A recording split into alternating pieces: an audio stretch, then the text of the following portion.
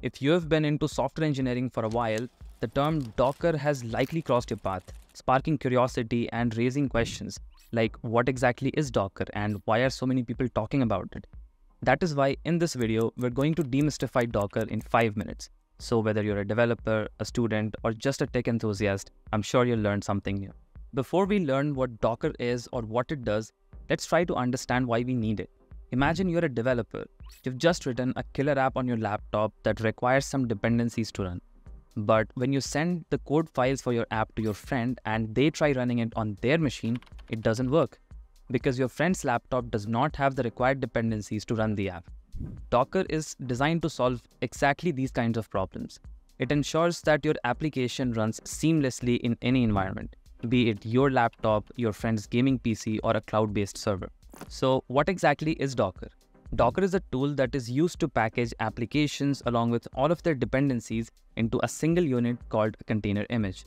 This process is called containerization and the container image produced is basically a snapshot of the app along with all of its dependencies. We can use the container image of our app to run instances or also known as containers of our application on pretty much any machine running any operating system.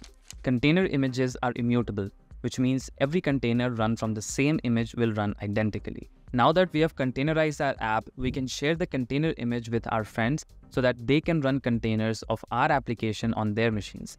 To do that, we need to host our container images on the internet by pushing them to a container registry. Docker Hub is the most popular public container registry, which means the container images hosted there are publicly accessible. You can develop multiple applications, containerize them, and then host them on Docker Hub. All popular open source software like Node.js, MongoDB, MySQL, Python, etc., etc., are available on the Docker Hub. Once your container image is up there on Docker Hub, whoever wants to run a container from it on their system can just pull the container image from Docker Hub to their machine. In the case where your application is private, your container image should not be hosted on a public container registry like Docker Hub. Instead, you should push it to a private container registry like AWS Elastic Container Registry. Unlike public container registries, private container registries will require you to pay for the storage that is being used to host your image. Also, Private container registries require users to log in before pulling or pushing container images.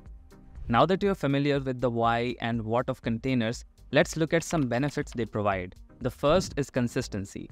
Containers ensure that applications run the same way regardless of where they're deployed. This consistency eliminates the it works on my machine problem, as the environment is replicated exactly across the different machines. The second is lightweight. Containers work somewhat like virtual machines, but they consume much less resources. As a result, a single machine can run many containers in parallel, but not many VMs. The third is elasticity. Containers can be started, stopped, and replicated within seconds. This elasticity is crucial for scaling applications based on demand. The fourth is isolation. Containers running on a machine are isolated from each other. This isolation allows for running multiple containers simultaneously on the same host without conflicts. These containers could be running totally different applications with different sets of dependencies without any conflict. The fifth and final benefit is versioning.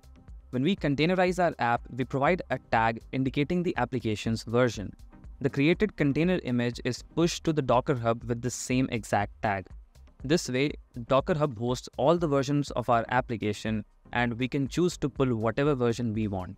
To recap, Docker is just a tool that is used to package applications along with all of their dependencies into containers, which can then run reliably in any environment. Docker isn't just a tool, it's a part of a larger trend in software development focusing on building containerized microservices. Docker is reshaping how we build and deploy applications, making the process more efficient and reliable. And that is Docker in 5 minutes. Honestly, I had to cut down on a lot of technical details to make this video possible. So if you would like me to make a detailed video tutorial showing you how to containerize applications using Docker, do let me know in the comment section below. Also, if you found this video helpful, do let the YouTube algorithm know by leaving a like. Thanks a lot for watching and I'll see you in the next one.